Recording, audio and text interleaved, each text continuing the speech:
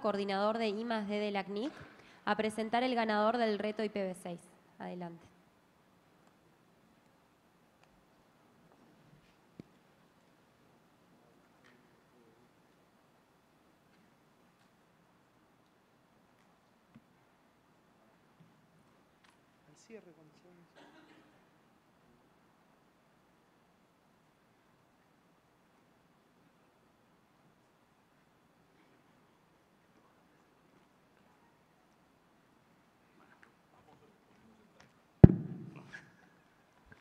Hola, muy buenas tardes. Bueno, para mí es un placer eh, estar aquí con Nico Antonello, quien, es parte del comité del reto IPv6. en esta oportunidad se llevó a cabo la quinta temporada, vamos a llamarlo de esa manera, del reto IPv6. Y bueno, te dejo a ti, Nico, para que hagas el anuncio y te los premios.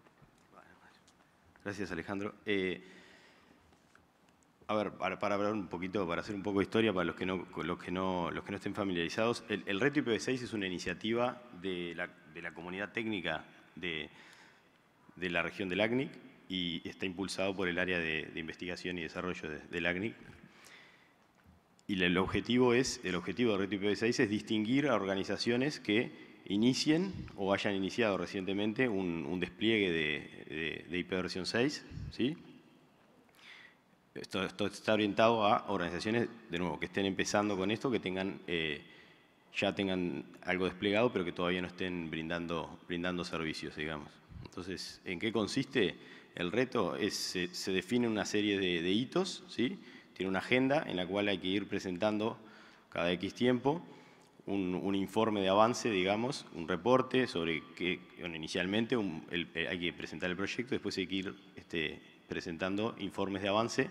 ¿sí? El, comité les, les, puede hacer este, preguntas, pedir aclaraciones, etc. Y bueno, ahí a lo largo del tiempo se va, se va, se va viendo y se va analizando por parte del comité quiénes son los que van a, los, finalistas, digamos, los que llegan al final. En, este caso, en esta, en esta edición, que creo que es la sexta, no la quinta, este, se presentaron más de 20 eh, organizaciones originalmente al reto y finalmente quedaron dos.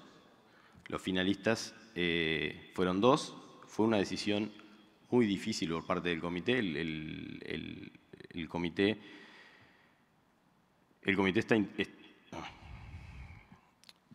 está integrado por bueno, Asael eh, Fernández, que es quien lidera, de hecho, el, comité del RTP 6, Alejandro, este, Mariela Rocha, Jorge Villa y yo. Este, y bueno, fue una decisión bastante complicada porque los dos finalistas presentaron trabajos, la verdad, excelentes los dos. Estuvo muy ajustada la decisión, pero bueno, tiene que haber un, final, finalmente tiene que haber un, ganador, digamos, un finalista, pero vale la mención de que ambos presentaron excelentes trabajos y de hecho, incluso eh, internamente en el comité, voy a revelar algo interno del comité, digamos, eh, internamente se reconoció y se hizo énfasis en, lo bien que además se presentó la información, digamos. O sea, la calidad del trabajo y la calidad de la presentación de la información de los reportes fue realmente excelente. Bueno, vamos a anunciar primero el, segundo, segundo, segundo premiado, digamos, que es la, Universidad eh, Francisco Gavidia. ¿Hay alguien de la Universidad Francisco Gavidia? De El Salvador. No hay nadie. Bueno, le vamos a hacer, le vamos a hacer este, llegar, llegar el, premio y el, certificado de, participación en el, en el, en el reto. ¿Puedo hacer un comentario antes de que...? Sí. ¿Cómo no? Bueno, perdón, interrumpo a, a Nicolás antes de anunciar el, el, ganador. Básicamente quería, quería mencionar también que el reto IPv6 como proyecto ha evolucionado un poco ya durante el tiempo. Es la sexta edición como como me corrigieron. Y eh, al principio comenzó quizás como una prueba, vamos a ver cómo lo toma la comunidad. Y eh, desde la CNIC ya hemos percibido que se ha convertido en un proyecto muy serio, hay mucha participación. Como decía Nicolás, hubo más de 20 inscritos en, el momento inicial del reto, algo que fue un récord para nosotros. Eh, la, calidad de los trabajos finales lo, lo, certifica y la evolución, el desarrollo de los despliegues IPv6 también. ¿no? Habiendo dicho eso, eh, esta es la primera vez, y por eso es que fue el que lo detuve, que estamos teniendo certificados, una especie de diploma que vamos a entregar a los ganadores del reto IPv6. Por primera vez lo vamos a hacer en esta oportunidad y es algo que quería destacar.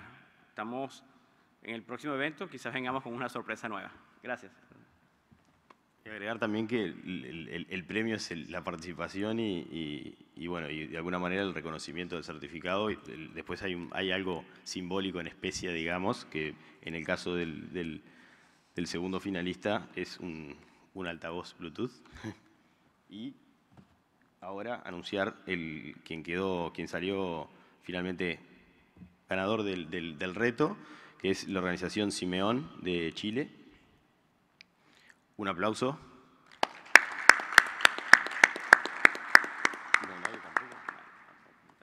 Y tampoco hay nadie, me parece. Pero bueno, bueno, y el. y el- No, en ese caso el premio era- es una, una- una cámara GoPro. Se la llevas vos, Tomás. Ok. Este, bueno, eso. Muchas gracias a todos y, y de nuevo, este, exhortar a todos, a, quienes no tengan todavía iniciado un despliegue de IP versión 6 o que lo tengan iniciado pero todavía no hayan iniciado despliegue de servicios a través del protocolo IP versión 6, que se animen a participar en el reto. ¿sí? Este, en, el sitio del ACNIC hay, un- hay una, una página específica sobre el reto IPv6 que eh, indica cuáles son las bases del concurso, este, quiénes pueden participar, este, cómo, se, cómo se selecciona el ganador y- y cómo es todo el proceso. Digamos, no es algo complicado, es algo que es muy fácil de participar como parte de- del proceso de despliegue de IPv6. Así que eso, los invitamos a que, a que participen todos en la, en la- en la próxima edición el, el próximo año. Muchas gracias. Gracias, Nicolás y Alejandro. Ahora invitamos al estrado a Erika Vega,